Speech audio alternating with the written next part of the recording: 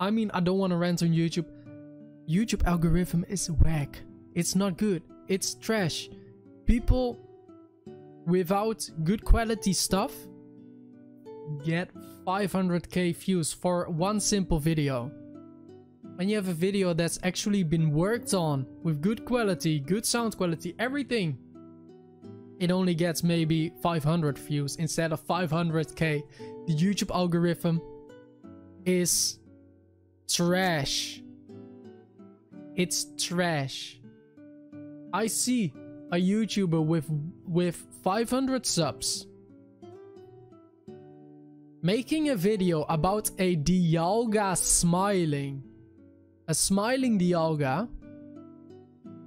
And that YouTuber gets 600k views with a 30 second video in Pokemon Camp about a Dialga smiling. And after that video, that person made a lot of videos like that and is still in the algorithm and has above 20k views now without any quality, without any microphone, with nothing but 30 second videos because one stupid video got into that algorithm. Yeah? And got 500k plus views.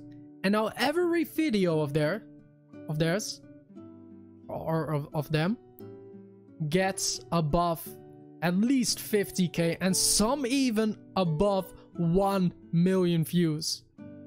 While it's a 30 second video about a Pokemon in Pokemon Camp doing generating smiling stuff or walking around and the title is Dialga or Palkia having a fight with Dialga and that video gets 1.3k uh, 1.3 million views.